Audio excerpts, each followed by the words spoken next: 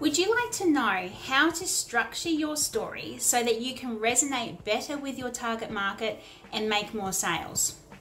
Well, if that is a resounding yes, then make sure that you stay around for this video because I want to share with you a three step formula that is going to do just that. It's going to teach you how to structure your story so that you're able to better connect, to better resonate with your target market, make you more relatable, which will lead to more sales.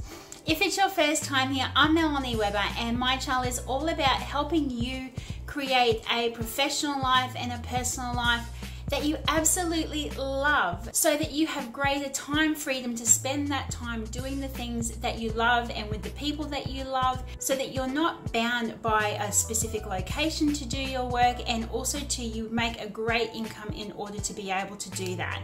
If that really resonates with you, then make sure that you hit that subscribe button below and the bell notification so you know when I come out with videos similar to this one with really great content.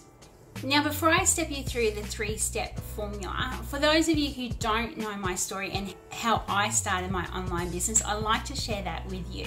So, before my business, I was working in human resources and I actually worked on an island. Now, before you start conjuring up images of beautiful palm trees, a lovely tropical island, where when you land on the beach that you get presented a lei of beautiful flowers and draped around your neck it was the complete opposite of that. So put those images out of your head. I did work on an island. It generally took me an hour to get to work each day. If there was any emergency or I needed to leave work for any reason suddenly, then there wasn't the flexibility or the ease of just getting into my car and driving. That wasn't the case at all. I had to somehow arrange a ferry to get back to the mainland to then get into my car. As the only HR person in my location, I had to be available or I needed to be contactable 24 7 because it was a 24 hour operation. Because I had a young child at the time, I could only work part time and therefore my earnings were, were limited by the number of hours that I could work. And probably the biggest thing is I felt torn between my roles. I felt torn between my role as a wife, my role as a mother, and my role as being myself and having time available to myself to do the things that I enjoyed. Now, it was when I was pregnant with my second child, or and particularly once I had started maternity leave with her, was that I started exploring well, is there something else available out there? Is there something that is going to give me the flexibility in terms of where I work, when I work, but, but still enable me to earn a decent salary? And the answer to that question came to me through a blog post, which was written by an Australian gentleman who had been in online marketing for seven years. He worked from home, he set his own hours, he was his own boss. And the thing that really stood out to me was that he has a young family. So I thought if he can do this, then maybe I can as well.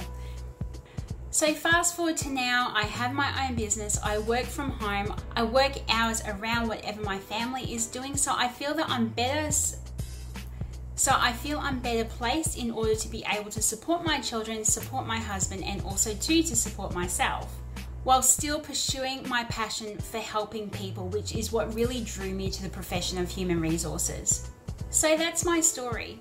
And my rationale for sharing my story with you isn't just for me to rabbit on where I've come from, but it was to demonstrate the three step formula to help you with your storytelling so you can package it in a way that is going to connect with your audience. So, reflecting back on how I shared my story, I started off by saying, where I had come from, what was my situation at that time before I started my business, and especially what was my problems in terms of not having flexibility to be able to leave my work location when I had an emergency. My earning potential being restricted due to the number of hours that I was available to work and most of all, feeling torn or feeling like I wasn't doing any of my roles exceptionally well in my capacity as a wife, a mum. My story then moved on to what the solution to my problem was.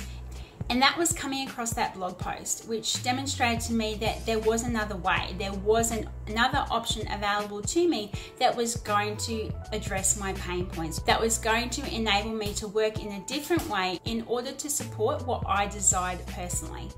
And then my story moved along to what my life is like now, how it is different to what it was like beforehand as a result of me implementing the solution. So, quite simply put, the three step formula is starting off by explaining what was the problem or what was the original starting point.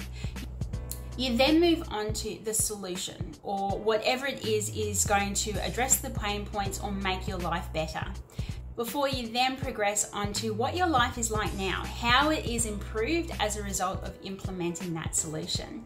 So, a very simple method, but I think you'll agree a very effective way that is going to help you be able to structure your story so that you're able to communicate it to your target audience and help them understand how the solution is going to help them in the long run and is going to address the frustrations or the pain that they're experiencing.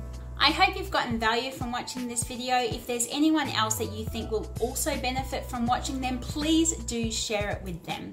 If there's any tips that you would like to share in terms of how you structure your story to ensure that it has a powerful impact on your target audience, then please do share below in the comments. And until I see you on my next video, I hope you take the greatest of care.